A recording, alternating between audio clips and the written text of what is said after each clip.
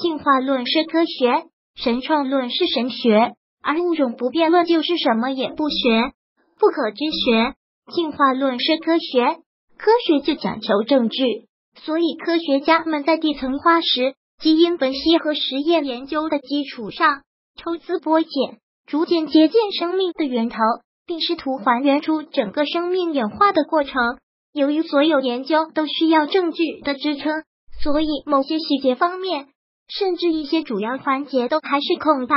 进化论因而并不完备，但一直在向更完备的理论迈进。神创论是神学，凡是不可知的都懒得去思考，直接归之于神的举手之劳，而且利用人性的弱点，通过重复洗脑的方式，让人们相信所有一切都有神在安排，而人只需要按照这种安排去生活，一切都是命中注定，再多思考也没有用。神权阶层利用虚构形象来欺骗和盘剥信众。当然要牢牢把握神创生命这一核心，否则谁还去信他们呢？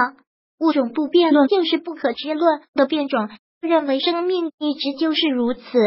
物种不变论实际也是神创论的变种，因为有些不变论者认可生命也是由神创造的，只是创造后就不再变化，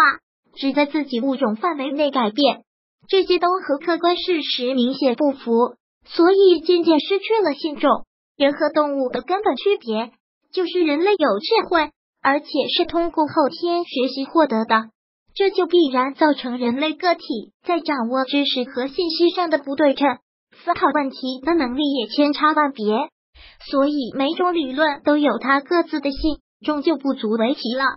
正是这种差异思想的相互碰撞、相互之间的竞争，才让人类文明一直向前发展。取得我们今天这样辉煌灿烂的结果，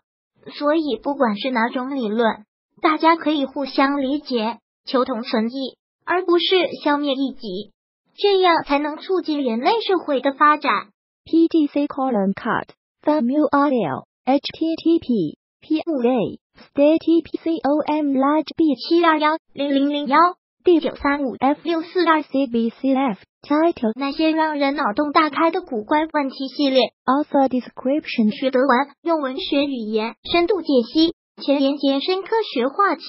通俗易懂幽默有趣。Price 九点九 sold 一 column ID 幺六幺零八二六七四六八幺二四二四。如果喜欢本视频，请分享并订阅本频道，别忘了按赞哦。